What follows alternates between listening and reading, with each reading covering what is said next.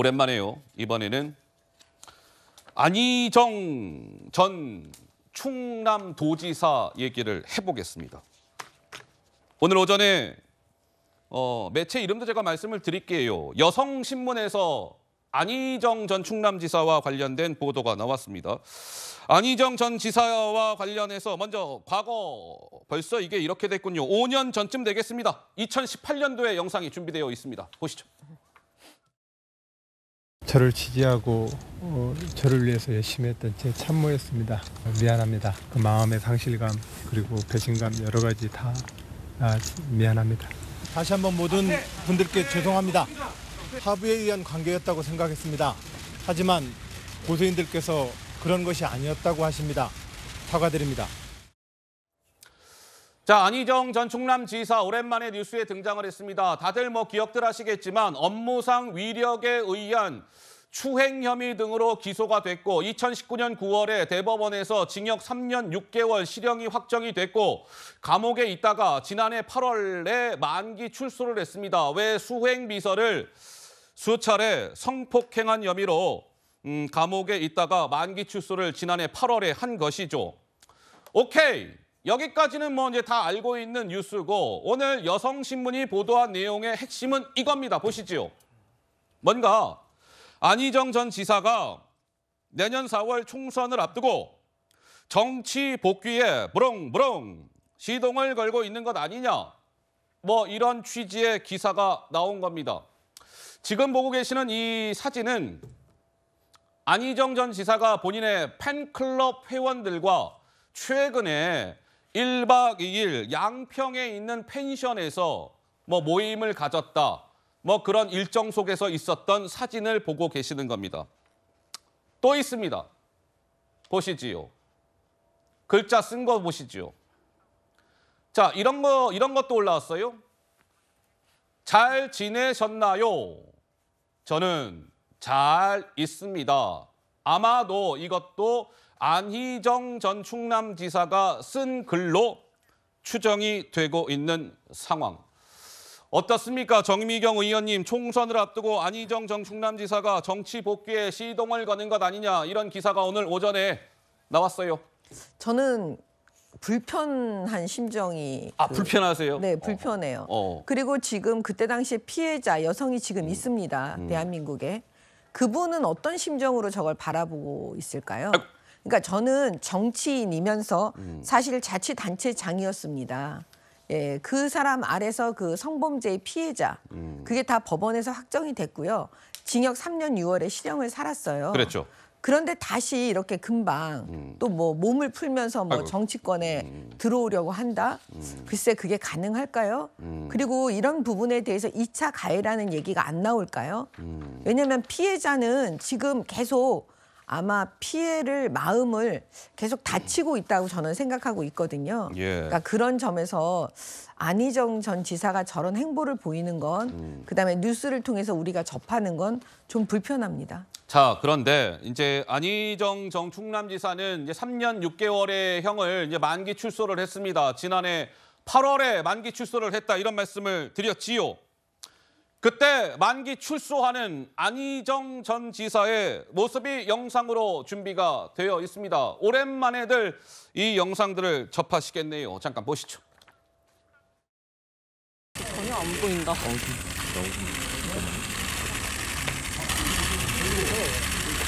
그런 것 같습니다. 네.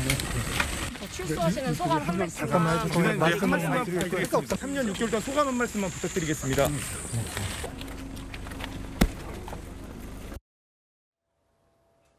자, 안희정 전 충남지사 만기 출소하는 장면의 영상을 보고 오셨습니다. 정미경 의원님께서 말씀하신 것처럼 안희정 전 지사는 본인의 수행 비서를 수차례 성폭행한 혐의로 대법원에서 형이 확정이 돼서 수감 생활을 한 것 아니겠습니까?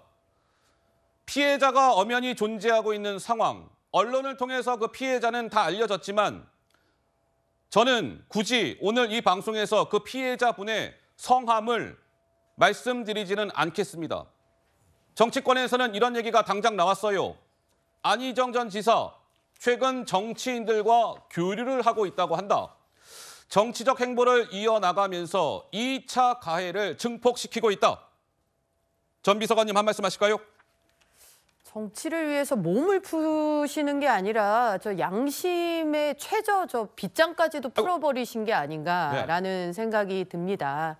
안희정 지사가 정말 자숙을 하고 또 자숙을 해도 부족하다라는 생각이 들고요. 이건 비단 안희정 전 지사만의 문제가 아닙니다. 네. 지금 보면 음. 사회적으로 지탄받고 그게 법적으로 또 도덕적으로 지탄받는 사람들이 전부 다 수면 위로 올라오려고 하고 있습니다. 예. 최강욱 전 의원도 아이고, 그렇고 예. 조국 뭐 전 법무부 장관도 그렇고 윤미향 의원 같은 경우에도 그렇고 뭐 황운하 음. 아이고. 의원 같은 경우에도 뭐 판결에도 불구하고 음. 뭐 예수 코스프레를 하는가 하면 어떻게 이 지경까지 정치 지도자 또 사회 지도자라는 사람들의 면면이 여기까지 왔나 하는데 음. 이건 정치를 떠나서 상식과 도의의 문제이고 양심의 문제다라고 생각을 합니다. 자, 서재현 대변인께서 한 말씀 하셔야 되겠습니다. 예. 네, 저도 이제 시간이 참 많이 갔네요. 저도 안희정 지사가 사실 저희 민주당 입장에서는 대통령 후보 잠룡이었었는데 잠룡 가운데 한 명이었죠. 미투 사건으로 2018년 한 6월 정도 됐을 겁니다. 그때 추미애 당 대표가 그때는 바로 제명했을 것 같아요. 근데 지금 이게 또 개인적인 어떤 공개 모 임을 했다고 하는데 이게 또 왜 갑자기 총선이라고 하는 그런 이슈에 또 들어왔는지 저도 오늘 처음 이런 뉴스를 접해서 저도 당황한데 뭐 예, 예. 민주당이나 뭐 다른 어떤 지지 세력이 안희정 전 추- 지사에게 뭐 총선에 좀 한번 같이 뛰어달라고 부탁한 것도 아니고 저분은 어떻게 보면 3년 6개월의 제값을 받은 겁니다. 제값을 받았다고 바로 총선에 나온다? 저는 굉장히 부적절하고 보는 것이고요. 다만 이것을 또 민주당으로 또 엮어가지고 이걸 총선에 또 공격하면 안 된다. 왜냐하면 계속 주장했던 게 우리가 강서구청장 선거 때 네. 김태우 이분이 고- 범죄 행위가 확정이 난 대법원 판결인데 대통령이 사면해 주셔서 참패의 원인이 제공한 거거든요. 그래서 저는 예. 제값을 치렀다 하더라도 음. 어떤 도의적으로 국민의 눈높이에서 또 바로 뭐 청- 선거를 나와서 뭐 국민들에게 표를 달라고 하는 그런 시대는 지났기 때문에 음. 예. 안희정 전 지사에 대한 잘못과 그에 또 책임을 졌다고 하지만 이게 총선가 해서 아 그러면 이제 제값을 치렀으니까 다시 뭐 민주당으로 입당해서 총선 같이 해봅시다 하는 그렇게 부탁하거나 호소하는 건 없다 예. 이 말씀 꼭 좀 드리고 싶습니다. 참고로 안희정 전 지사가 직접적으로 선거에는 출마를 못합니다. 왜냐?